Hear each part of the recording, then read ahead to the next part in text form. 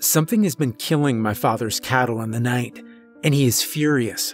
It's important to understand just how much these cattle mean to my father. They're more than just beef. My dad's a highly respected, award winning cattle rancher. Every one of his 2,000 pound Brahman steers represents hundreds of hours of careful labor, years of investment, and tens of thousands of dollars in returns, and something is slaughtering them. It drives him crazy that he can't figure out what is doing it let alone where it's coming from or how to make it stop. The killing started a year ago when three different steers turned up completely mutilated on three consecutive mornings. Obviously, his first instinct was to assume it was the work of some wild animal wolves, maybe, or a bear. There had been rumors of jaguar sightings just south of us, too, down by the Mexico border. So, on that third day, he went out and set some traps and poisoned some bait and patrolled the ranch in his truck, his 12 gauge loaded with deer slugs. He didn't get the chance to use it, which I'm sure left him feeling put out, but that night the mauling stopped. For about a month, then six more of his steers died in one night. Well, no, died doesn't quite describe what happened to those steers. By the time my father stepped into his pasture that morning, those six steers had been rendered almost completely unrecognizable. The remains of the cattle, not corpses so much as loose piles of pulped flesh and torn hide, had been left scattered over several acres of land. This was not the work of a pack of hungry dogs or a rogue bear or even some rare jungle cat. My father must have realized this because as the killings continued, almost always a few weeks apart, he began to treat the brutalization of his precious cattle less like a problem to be solved and more like a personal attack. I've seen him handle setbacks before, farming is full of them. Sure, he'd get pissy about drought and disease hurting his stock. He'd fume over hikes in land taxes and the cost of antibiotics but he treated those sanely, directly, as obstacles and occupational hazards. This was different. As time went on, my father began to see the bizarre mutilation of his cattle as some sort of personal affront, something being done specifically to insult him. And with every fresh rash of killings, he'd get more obsessed, more paranoid, and more importantly, more furious. Anger is a special emotion in that, more than any other feeling, it tends to spread outward from whoever's feeling it. Sadness, fear, even joy are largely internal emotions, more easily processed and more potently felt alone. Anger, though, anger spills out and corrupts its surroundings, pushes people to hurt and abuse and destroy. Anger is like floodwater. It has to go somewhere, and it often travels downhill. My father's always been an angry man, and for as long as I can remember, I've been his favorite outlet. I make an obvious target the bookish runt. Honestly, the fact that I make such a convenient punching bag might be the only thing keeping him from hating me outright. He's hit me plenty of times, Sure, he's never gone too far with the physical stuff, never really injured me past a bruise or a welt. Can't help out around the ranch if my eyes swollen shut or my legs busted up. No, the beatings, they're trivial compared to his real punishments. The lengths he likes to go to when he gets angrier than he can handle and I'm within venting distance. He's a big fan of withholding privileges, or whatever basic human right he suddenly decides to consider a privilege. No food for a day, no school for five.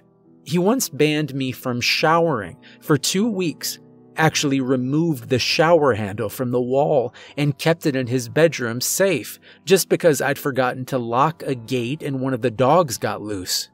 He'd do these things not because he wanted to teach me a lesson not because he wanted to make me into a better person, and not even because he necessarily wanted to see me hurt. He just gets so angry, and all that anger had to go somewhere. Besides, I don't think he thinks about me enough to hate me. I'm a minor detail in his life, an inconvenient roommate, a bad employee, a tax deduction. Once, in eighth grade, I chopped all my hair off, shaved my scalp clean, just, I don't know, to get some attention, to see what he'd say, to find out what weird draconian anti punishment he'd dole out if it somehow bothered him. He never once mentioned it. He and I got into this argument a little over a year ago. I'd injured my foot at school, tripped over a curb, and sprained my ankle, and he was driving me back from the clinic. We got into an argument after he insisted that I must have done it on purpose, must have injured myself to get out of working. I yelled at him. He yelled at me. He got angry. He pulled over to the side of the single, barely paved country road that led to our property, and he kicked me out, told me to walk the rest of the way home. He peeled out before I could do anything about it, leaving me to navigate what must have been a five mile expanse of road on an injured leg. The rest of that night was something of a blur, a disaster that I only remember in feverish patches as little vignettes of painful memories. Limping along the shoulder, my ankle burning in protest as the sun drooped towards the horizon. Squinting through the darkness as night fell, the light of the full moon not nearly enough to illuminate the unlit country road. The pounding of adrenaline at the sound of distant, heavy panning and accelerating footfalls as something darted out of the scrub behind me.